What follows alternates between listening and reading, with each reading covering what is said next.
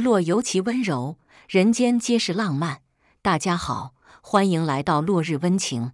今天要和大家分享的是，老公一家十口全住我婚房，婆婆还定下十条家规。我一怒之下提离婚，让他们全家流浪街头。下午上班的时候，我的手机突然滴滴滴滴响个不停，整个办公室的人都被打扰，在无数责备的目光中。我边道歉边手忙脚乱给手机静了音，附近的同事不耐烦吐槽了句：“烦死了！”我脸上烧得慌，心头也被燎起了火。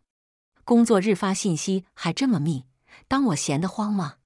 解锁手机，我正想数落对方一顿，却发现是许久没有动静的家庭群。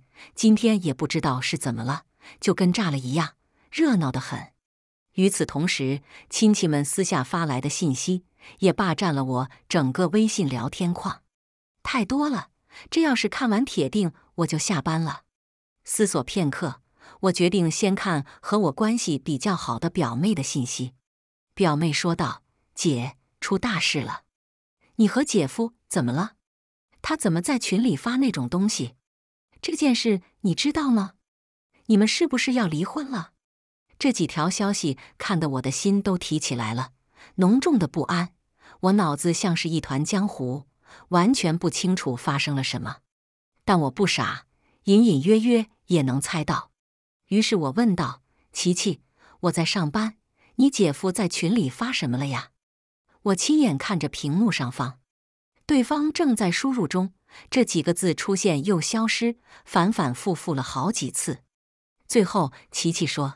姐，你还是自己去看吧。就咱们那个相亲相爱一家人里面，我退出来点开群聊，里面好多亲戚都在艾特我。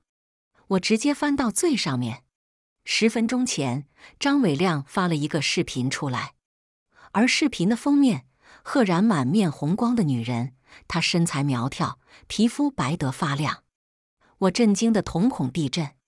这种色情视频他自己偷偷看就好了，干嘛要到处发呢？现在发到群里，这可真是丢人丢到家了。我决定假装不知道这件事，等回家再好好数落数落他。但往后瞥了一眼，才发现事情不止这么简单。几乎大半的亲戚都在骂他畜生，还质问他对得起自己的老婆吗？其中有个吊儿郎当的大龄未婚伯伯。在群里发了句：“伟亮有本事，女人缘这么好，能不能给伯伯找个对象？”我四下看了看，同事们都忙着工作，没有注意到我，便拿了副耳机，悄悄溜到厕所，黑着脸点开视频。没想到，我老公张伟亮竟然是视频中的男主角。他背着我出轨，现在居然还敢公然把这种视频发到咱们的家族群里。我腮帮子咬得紧紧的，气得浑身发抖，眼睛酸涩不已，极力控制盘旋在眼眶中的泪水，可还是让它流了出来。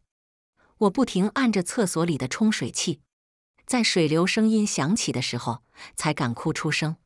好不容易心情平复一点，手机铃声又响了起来，是表姑打来的。她向来看不惯我妈，因为她的女儿处处都不如我。上学的时候成绩没我好，毕业后找的工作也没我好，就连结婚，男方也穷得叮当响。但他素来喜欢和我妈比女儿，这次他打电话过来，恐怕是想看我的笑话。我本来不想接，可一想到不接的话，他说不定会到处去造谣，说我可怜没人爱。深呼吸几口气，调整好状态，我还是按下了接听。表姑还带着笑意的讨厌的声音从听筒里传过来，说道：“心如啊，别太难过，不就是男人出轨吗？没什么大不了的。不行，咱就离婚。本来呀，你当初嫁给张伟亮的时候还挺风光的，没想到高价还是不幸福。你看，这不就出岔子了？”我只好回应道：“表姑，那视频就是 P 的，你别胡说八道了。”他切了一声，又说：“反正表姑是为你好，有钱的男人驾驭不住啊。你别自己骗自己了。”我冷笑一声，呛他道：“反正我不会啃老就是了。表姐夫每个月还是只有两千块钱的工资吗？”他明显被噎了一下，说道：“你这孩子怎么说话呢？”实在是不想再听表姑的冷嘲热讽，我以工作繁忙为由挂断了他的电话。还没结婚的时候，表姑就觉得我是高价，很嫉妒，三番两次给我洗脑，让我别嫁去有钱人家，不然肯定会受欺负，被别人看不起。其实张伟亮家也不算多富裕，和我结婚，他家给了八点八万彩礼，还给我买了个金手镯，以及市里一套一室一厅的小房子。表姑刚在电话里不停撺掇，让我赶紧离婚。我知道她是想看我的笑话。我如果真离了婚，她一定会马上冲到我家，狠狠对我妈落井下石，在我妈面前扬眉吐气一把。但是这些都无所谓，出轨这种事情只有零次和无数次。我没办法接受张伟亮的背叛。下班后，我拎上包，急急忙忙地赶回家。一进门，便直接质问张伟亮。张伟亮，你对得起我吗？你个出轨男，你都和我结婚了，还在外面风流快活，甚至把那种视频发到家族群，不知廉耻！你这是打我脸！张伟亮脸上闪过心虚，他解下身上的围裙，几步走到我身边，想搂住我。我嫌恶心，往旁边躲了一下。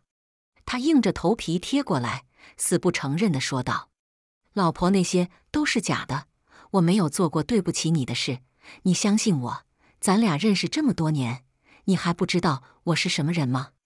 我冷笑一声，忍不住露出讥讽的表情，说道：“我还真不知道。”他重重叹了口气，情绪激动起来，伸手啪啪拍桌子，出言狡辩道：“我真没做过对不起你的事。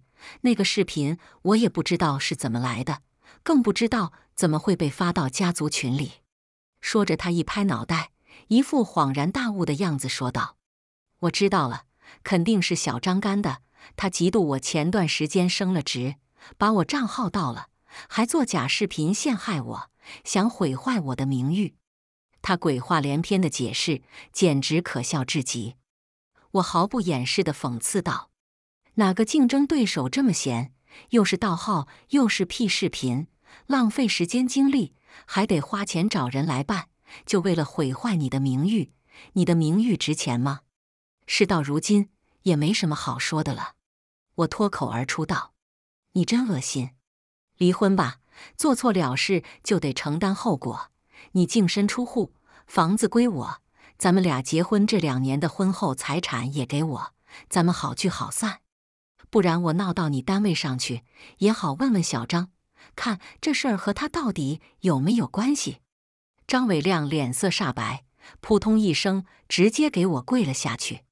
他紧紧抱着我的双腿，痛哭流涕道：“对不起，老婆，我错了，我真的错了。”我心里顿痛，难过的闭上了双眼。这件事对我的打击也很大。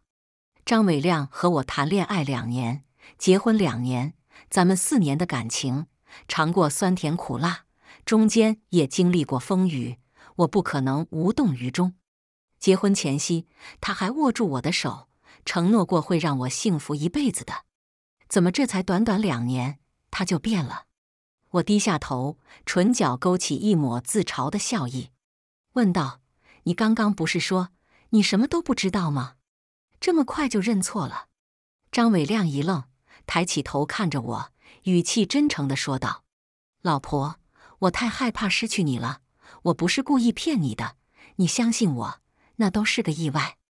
那次公司聚餐，我不小心喝醉了，误打误撞把他当成了你。醒来之后，我也很后悔，我觉得自己不是人，狠狠扇了自己几个巴掌。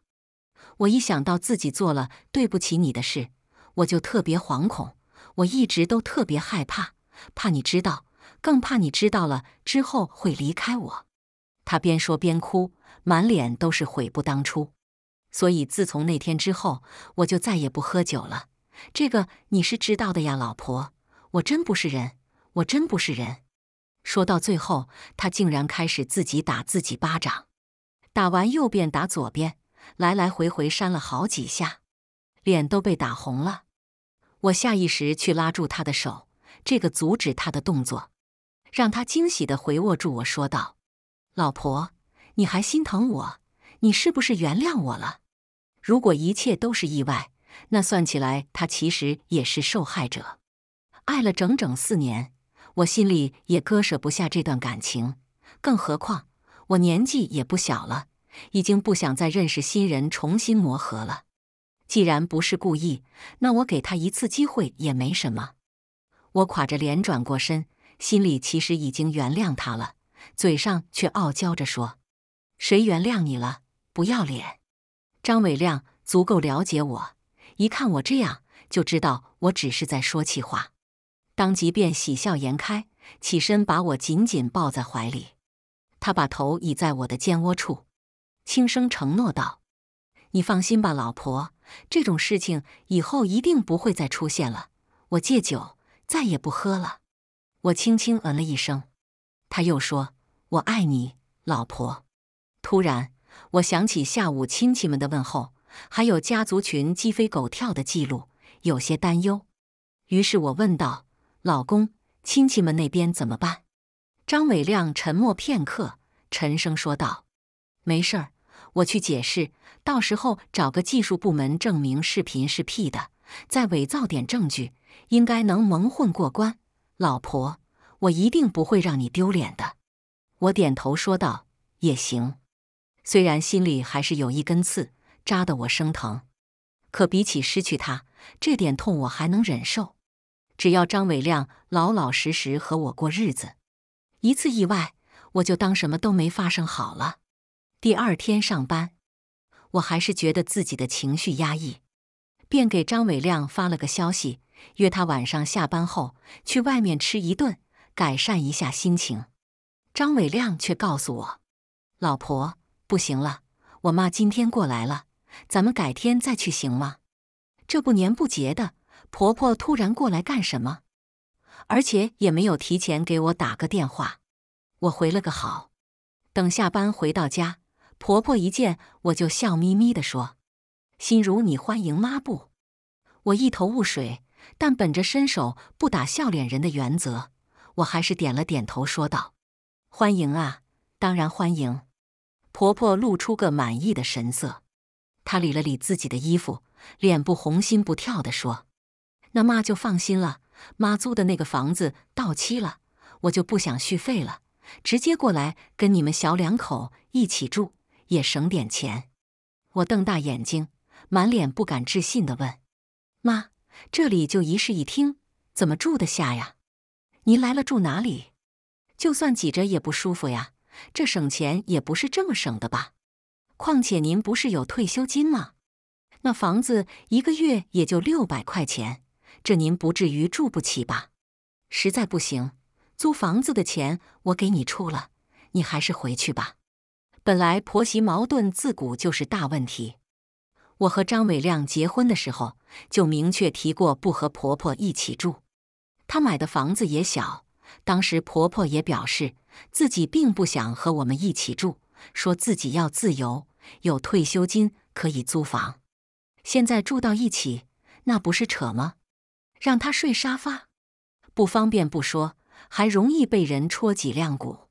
我可不愿意。婆婆撇着嘴，一脸不高兴地说：“刚刚你还说欢迎吗？这么快就不同意了？”我摇摇头，委婉地说道：“我不是这个意思，只是这房子小，三个人也住不下呀。”婆婆却说：“有什么住不下的？你们那张床那么大，睡三个人怎么都能睡下去？要不是之前催你们生孩子，你口口声声说没钱不想生，我至于这么省吗？”我还不是为了你们，我能受挤，不舒服就不舒服。我把钱省下来给我的孙子用，行了吧？我还想再说几句，打消婆婆的念头。张伟亮却开口道：“老婆，妈说的也有道理，她也是为了我们好。妈，你就放心在这住着吧，心如不会说什么的。”她都同意了，我也不好再反驳，只不爽的看了他一眼。等吃完饭，婆婆在厨房洗碗的时候，我才数落她道：“想省钱，怎么不回乡下去？乡下不是有房子吗？非要来跟我们挤，我每天还得上班呢，这样怎么睡得好？”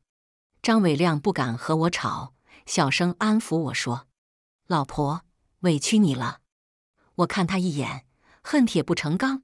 一想到他妈晚上还要和我们一起睡，我就特别崩溃。哪有儿子都结婚了，妈还跟儿子儿媳睡一张床的？咱们都多大的人了，这也太恶心了。再说了，他还想催生，每天晚上都和咱们睡一起，我怎么生？这孩子是凭空来的吗？张伟亮沉默了，婆婆也恰好从厨房出来。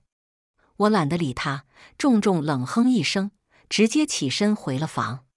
晚上睡觉时，婆婆果然挤了下来，我被婆婆和张伟亮夹在中间，就像个夹心饼干，又热又难受，浑身都不舒服。偏偏张伟亮睡得像头猪，呼噜声此起彼伏，我一时间委屈的要死，忍不住哭了。睡到半夜。我迷迷糊糊想起来喝点水，床上却只有我和婆婆两个人。我暗自冷哼，肯定是张伟亮睡到半夜觉得挤，所以出去睡沙发了。明天我就跟他说，让他把他妈劝回去。担心他冷，我特地起床拿了条薄毯。然而沙发上空无一人，倒是厕所亮着灯，里面还传出张伟亮的嘿嘿傻笑，憨得不得了。上个厕所至于这么开心吗？走近我才发现，他是在和一个女人打电话。那女人夹着嗓子，嗲声嗲气的说道：“亮哥，你老婆真有套大房子吗？”张伟亮得意的炫耀道：“当然是真的，有一百五十个平方呢。等我找借口把房子拿过来，就跟那个黄脸婆离婚，和宝贝你在一起。”女人兴奋不已的吹捧道。我就知道亮哥最好最有本事了，真没看错人。那我等着你哦。这声音激得我掉了一身鸡皮疙瘩，胃里直犯恶心，想呕。张伟亮还在吹嘘，给女人描述美好未来，而我浑身发冷，一颗心骤然跌到谷底。好你个张伟亮，我居然信了你的鬼话！什么喝醉酒把别人当成了我，都是骗子。不是想甩掉老娘吗？看谁能笑到最后！我转身回房，把卧室门从里面反锁。转天清早，张伟亮顶着一对黑眼圈，看我起床，就用幽怨的眼神一直盯着我，委屈巴巴地说：“老婆，是不是你昨天晚上把门反锁了？我敲了那么久的门，你怎么不开？妈也不动，我都没睡好。”婆婆睡觉比张伟亮还像死猪，雷打都不动那种，自然没听到他敲门的声音。我走过去拉起他的手，晃了晃，一脸歉意的撒娇说道：“老公，我半夜醒来发现你不在床上，还以为你觉得挤，出来睡沙发了。我还专门给你拿了一条毯子出来呢。回去的时候不小心反锁了，对不起啊，我不是故意的。”见我这个态度，张伟亮不好再摆臭脸，于是他说：“那你下次可别这样了。”婆婆端着两个小咸菜从厨房出来，招呼我们两个过去。都起来了，那就吃饭吧。一锅清粥，一小碟霉豆腐，还有个凉拌豆芽。我默默吃着，假装没看到婆婆，悄悄给张伟亮塞了只咸鸭蛋。张伟亮接过去。道谢之后，问了句：“妈，只有一个吗？”婆婆嗔怪的看她一眼，这才跟我解释：“心如家里只有一个蛋了，妈想着伟亮是男人，饿得快，就直接给他了。你不会多想吧？”我笑了笑说：“不会。”话音刚落，张伟亮就把包好的咸鸭蛋直接放进了我碗里。老婆，你吃。我挑了挑眉。断定这厮无事献殷勤，非奸即盗。果不其然，张伟亮立马就打开了话匣子。老婆，你看昨天晚上咱们三个人睡在一起那么挤，这房子太小了。要是等以后孩子出生，肯定不够住。给别人打工虽然稳定，但每个月就几千块钱，想换个大房子，不知道得存到猴年马月去了。为了咱们这个家，我打算做生意。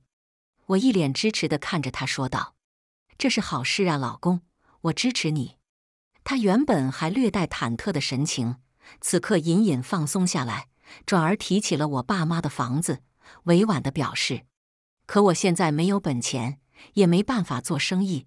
老婆，你爸妈那套房子不是空着吗？不如先借给我，等我挣到钱，一定孝顺咱爸妈。”我面露难色说道：“那套房子是爸妈养老用的，房子附近有医院，医疗条件好。”他们过不了几年就退休了，到时候就会搬进去养老的房子，咱们去动不太好吧？张伟亮拍着胸脯保证说：“你放心，有我在，咱爸妈养老的问题就不是问题。再说了，他们两个老人单独住多不方便呢。等以后咱们换了房子，就把他们接过来一起住，有女婿照顾着，不比现在好吗？”我被他哄得眉开眼笑。一副陷入爱情不可自拔的模样，当场便点头答应下来，说：“那我去和爸妈说。”张伟亮看我一心向着他，也忍不住露出了自信的笑容。婆婆一言不发喝着粥，也笑得开心。我们三个人气氛融洽，个怀鬼胎。张伟亮下班回来，便迫不及待跑过来问我：“老婆，爸妈怎么说？他们同意吗？”我有些难过的低下头，嘟嘟囔囔的说：“我求了爸妈很久，他们最后同意是同意了，但是说要让你出三十万的保证金给他们。”说着说着，我还连忙摆摆手，十分自责的说：“这个钱不是我要的，是我爸妈要求的。如果不给他们的话，他们就不给房子。我想让他们减少一点，他们都不肯。我其实根本就没有给我爸妈打电话。”张伟亮要是舍不得这三十万，那他的计划就直接泡汤。他要是愿意出这三十万，那我也只能笑纳了。总之，房子是不可能给他的。张伟亮安抚地拍拍我的肩膀，虚伪至极地说：“爸妈有顾虑也是正常的，毕竟房子不是小事，三十万而已，老公来想办法。你放心，我一定会让你过上好日子的。”我当然知道他拿得出这笔钱，婆婆的积蓄加上他攒的婚前财产，在吃晚饭的时候，张伟亮就把钱交到了我手里。在他心里，用三十万换一套房子很值。我转手就把钱存进了自己卡里。等到周末，张伟亮催我去过户房子，我就躺在床上装病，精神萎靡，浑身难受，咳了几声。我呜呜直哭着说：“非要今天去吗？我都这样了，还说要让我过上好日子。我看你心里只有房子，根本就没有我。病中的人都是很脆弱的。”张伟亮脸色大变，生怕我后悔，毕竟他钱都给我了。于是他赶紧安慰我说：“老婆，别哭，别哭，我不是这个意思。那你先好好休息，过户的事下次再说。”我窝在被窝里，眼泪啪嗒啪嗒往外流，继续唧唧歪歪地说：“本来我身体也挺好的，就是你妈过来之后，咱们三个人一起睡太挤了，我每天晚上都睡不好，白天还要上班，精神状态太差了。昨天晚上你们俩还抢被子，要不是这样，我至于受凉感冒吗？”张伟亮不敢惹我。反而还在家非常耐心仔细的照顾我，甚至开口让婆婆去客厅里打地铺。我假装睡着之后，张伟亮在旁边小声跟那女人打电话说：“宝贝，你放心，我一定稳住她。本来是说好了今天去过户的，但是她生病了。我这时候要是对她不好点，万一她后悔了怎么办？她上面还有两个老东西，就是这种时候。”我得让他看到我的诚意，你放心，就是个小感冒，过两天就好了，再忍几天，咱们好日子快到了。我翻了个身，吓得张伟亮差点拿不住手机，连拜拜都没说就给挂了。他走到我面前，低声喊了我几下，见我没醒来，才松了口气。整整一天，我都各种使唤张伟亮和婆婆，不是叫他们端茶，就是倒水。婆婆给我炖的鸡汤，我就不喝。一会儿要吃公司楼下的水果，一会儿要吃离家五公里的鸭脖，不然就是排队至少半个小时的糕点。买回来我又突然不想吃了，把他们俩折腾得够呛。婆婆一想到自己房子和钱都没了，现在一把年纪了，还得打地铺，就直接在客厅和张伟亮吵了起来。老娘真是欠了你们俩。我还想着过来跟你们俩过过好日子，没想到还是跟个老妈子一样，还得伺候你们。当初你结婚，我忙前忙后，包括买这个房子，我也给你出了不少钱。现在你连我养老的钱都拿去了，你让我怎么办？张伟亮怕我听到，压低了声音安抚他说：“妈，你小声点，那个钱拿来是想套心如他爸妈的房子啊，会拿回来的。”他妈飞了个眼刀子，脸色不愉地说：“套房子，房子呢？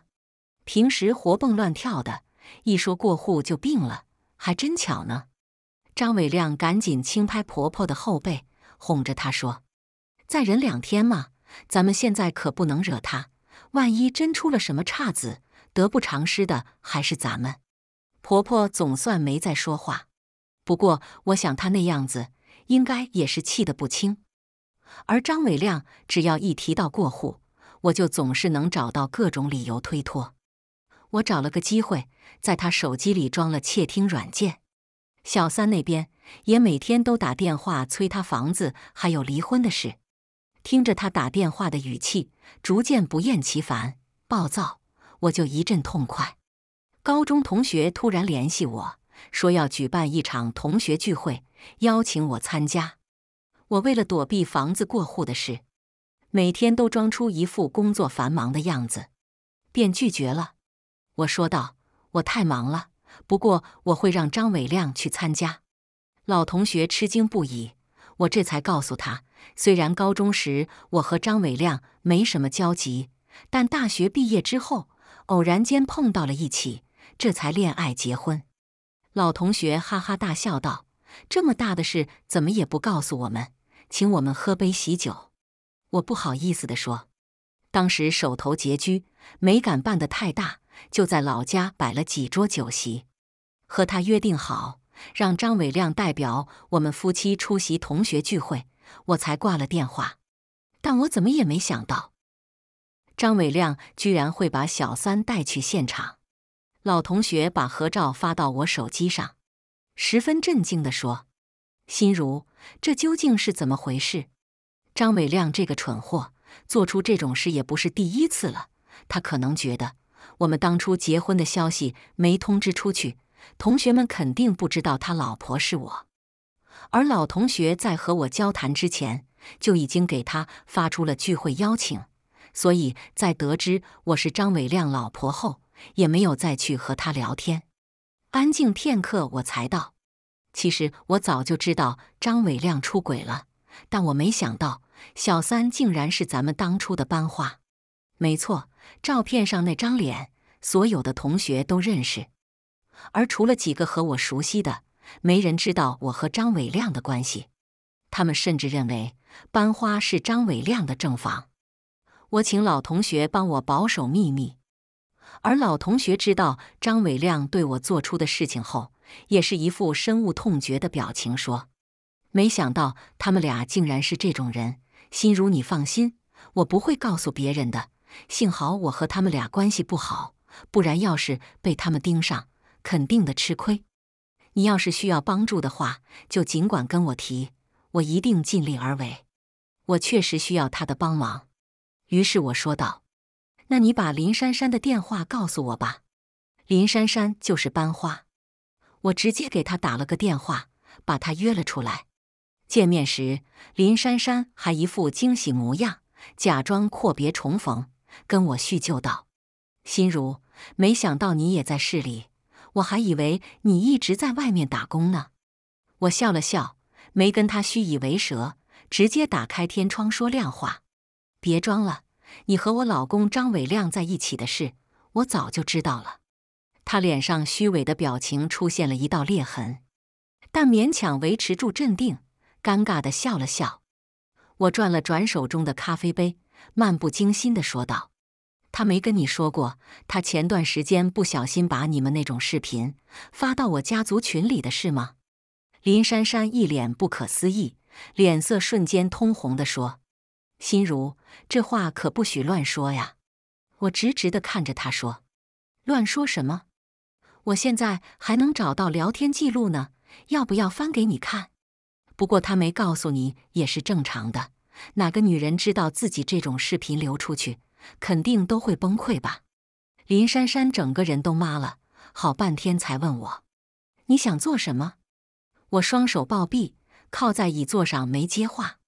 他脸色冷下去，冲着我伸出了三根手指。你知道了这件事还没跟他离婚，不就是舍不得吗？这样吧，你给我三十万块钱，我离开他，不打扰你们的家庭，怎么样？我知道你手里有三十万块钱，张伟亮前段时间不是给了你吗？你只要把那笔钱给我，我保证这辈子再也不出现在你们面前，有多远走多远，而你也能和你心爱的男人白头偕老。一辈子幸福长久，但如果你要是不同意的话，那就对不起了。我一定会闹得你们家宅不宁，让你的婚姻生活沉浸在痛苦里。林珊珊这个人真的很天真，也非常合我心意。我欣然点头同意，当场就给他转了三十万。看他扭着腰，大摇大摆走出咖啡厅，我反手报警说道：“警察叔叔，我被诈骗了。”林珊珊骗了我三十万块钱，还没揣热就进了局子。她用那种死不瞑目的眼神看着我，一张清纯漂亮的脸蛋都扭曲了，恶狠狠地吼叫：“我没有诈骗，这笔钱是他自己给我的。他为了自证清白，甚至不惜在大庭广众下坦白自己做小三的事。”他说道：“他想让我离开她老公，所以给了我三十万块钱。”让我离开这座城市，这是他自愿给我的，怎么能说我诈骗呢？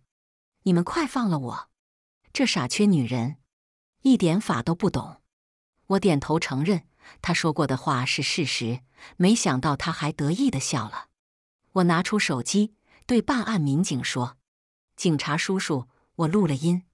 录音里，林珊珊恐吓我的话字字清晰，已经构成了敲诈勒索。”民警严厉警告他之后，他一脸不敢置信，像是被吓破了胆，尖叫着说自己没犯法。而我反手还告他勾引我老公，要求退回我老公给他用的钱。民警还在他的手机里查到了张伟亮联合林珊珊一起出主意想骗我父母房子的事，两个人甚至谋划，如果我最后还是不愿意把房子过户给张伟亮。就制造一起意外事故，要了我的命。我不知道他们俩竟然如此丧心病狂，也一阵后怕。要不是阴差阳错，因为同学聚会揪出张伟亮背后的小三，恐怕再过不久，我就是一具冰冷的尸体了。张伟亮被抓的时候还在一直喊冤，而我看着昔日爱人面目全非的样子，只觉得心脏一阵揪痛。我以为他只是不爱了，没想到他竟连旧情也不念，上前狠狠甩了他一巴掌。我直接提了离婚。这么多年就当我看走了眼。张伟亮，你狼心狗肺，做了这么多损阴德的事，不会有好下场的。送给张伟亮和小三林珊珊一人一副银手镯。我拿着那三十万块钱回了娘家，爸妈此时才知道。我原来承受了那么多，他们抱着我痛哭了一场，却不忍心责备我，只是千叮咛万嘱咐，让我下次遇到这么大的事，别再闷在心里。我爸妈说：“心如，爸妈永远是你坚强的后盾。”至于婆婆，也来闹过几次。想让我把她的养老钱退还给她，但都被我爸妈赶走了。她原本想把张伟亮名下那一室一厅卖掉，却被告知那套房子根本就不是张伟亮买的。他的好大儿当初拿着凑出来的房款，和林珊珊早就勾搭在一起了，花天酒地，游山玩水，不过半年就花光了，只能背着我租了套房子，却硬着头皮说是买的。这事儿我也是后来才知情。他年轻守寡，孤苦伶仃，拉扯大张伟亮，供他上学念书，还拿钱给他娶媳妇，用尽生命支持他。一把年纪了，落得个老无可依的下场，也着实可怜。张伟亮不念旧情，我却不是那种人。毕竟他虽然不是太喜欢我，但表面的照顾也没落下过。我最后还是给了他五万块钱，让他一个人回乡下安度晚年。好了，这就是今天给您带来的全部内容了。大家记得订阅留言哦。